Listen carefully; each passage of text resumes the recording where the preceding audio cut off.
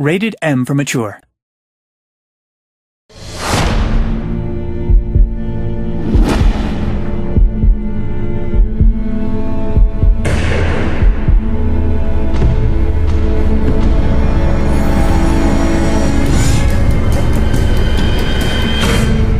In the Walking Dead comic book series, the choices that Rick Grimes and the other survivors have to make often have huge consequences. These consequences ultimately affect their chances of survival in a world gone to hell.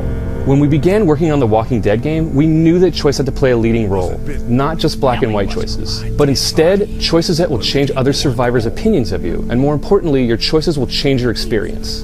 Just leave me, please go. Your Walking Dead story could be very different from that of your friend. The choices you make range in their impact. Some consequences will hit you immediately.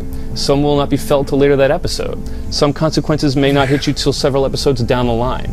Most of these choices lie in a morally gray area as the world we once knew is burned away. It's all about survival.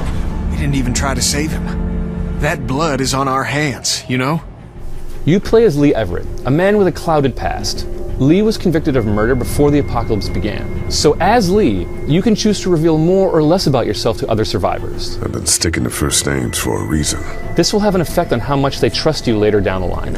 I don't know who you are or what you did, but you better become a better liar. During a heated argument between survivors, you can choose which side to take. The characters will remember if you had their back or sided against them. That boy is bitten. Not gonna happen. It is. And we're tossing them out now. This will change your relationship with them in episodes to come.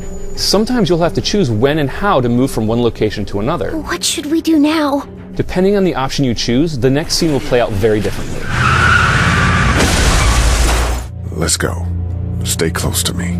You become the guardian of Clementine, an eight year old girl who's been orphaned by the apocalypse. Do you tell her what you really think happened to her parents, or do you try and protect her from the possibility that her parents are gone? What if my parents come home and I'm not there? Your words and actions will shape her perception of this new world. When things go badly and two lives are on the line, you may only be able to save one person. You'll have to think fast, because whomever you choose, they may be in your group for the next few episodes, and you'll have to live with your choice. Your choices will shape the five episode season and tailor the story to you. It's all about your choice.